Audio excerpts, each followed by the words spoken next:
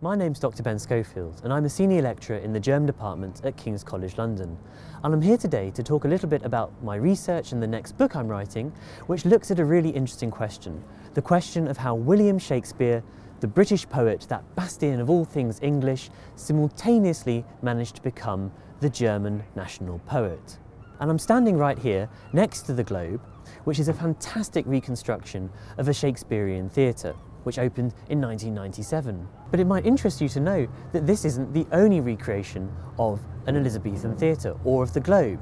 And in fact, 350 miles due east from here, so roughly in that direction, there is another Globe Theatre in a small town in Germany called Neuss.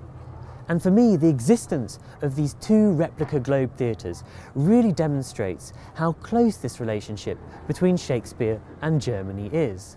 There are of course many reasons for this. One of them is to do with theatre history and the fact that while original productions were being performed at the Globe that stood here back in the 17th century, they were also being performed over in Germany very quickly.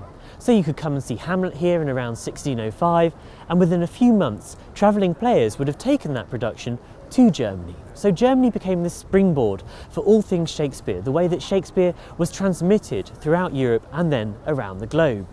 Another reason was the youth of Germany as a nation. In fact, Germany wasn't a nation until the end of the 19th century, in 1871. So before that, Germans had to resourcefully think about different ways of talking about being German. And to do so, they turned not only to their own cultural history, but also to the cultural histories of neighbouring countries, looking for figures that would help them think about what it meant to be a nation and what it meant to be German and that's how they came across Shakespeare. So one of the key things to understand about this story about the German appropriation of Shakespeare is that it wasn't just about Shakespeare as a dramatist, it was also about Shakespeare as a sort of moral authority who could guide Germany on its path towards nationhood. Germans not only turned to Shakespeare in their theatres to talk about what was happening to them, they also turned to Shakespeare to think about morally what it meant to be German and how they could come to terms with a century of totalitarianism and terror.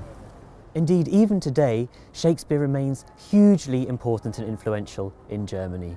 More Shakespeare plays are performed in Germany every year than they are even here in the UK, and Shakespeare is the most highly performed dramatist on the German stage, more than native German authors. So when you think about the question of how Shakespeare could become the German national poet, what we have to understand is that Shakespeare is not just a British cultural export that we send overseas, he's also a figure that we import back into the UK. A global poet whose influence expands far beyond the banks of the Thames.